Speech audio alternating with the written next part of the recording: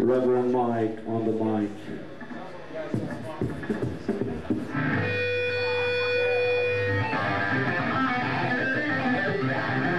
For the light.